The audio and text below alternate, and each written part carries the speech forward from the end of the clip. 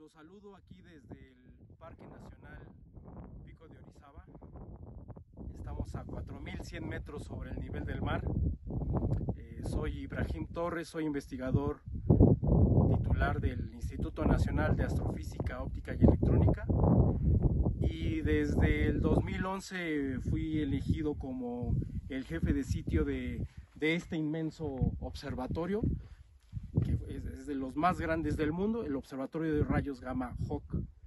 Eh, aprovecho, bueno, desde aquí aprovecho para enviarle una felicitación al Instituto de Física de, la Universidad Autónoma de San Luis Potosí, de donde yo fui egresado, por sus 65 años. Y eh, también felicito a Jürgen por sus 60 años.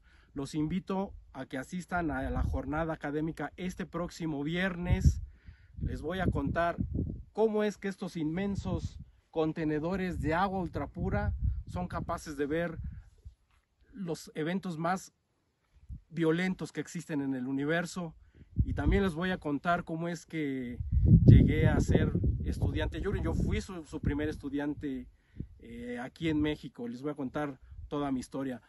Asistan a la jornada, no se la pierdan. Y les mando un, un, un saludo. Jürgen, te mando un abrazo. Eh, no puedo, te puedo acompañar por la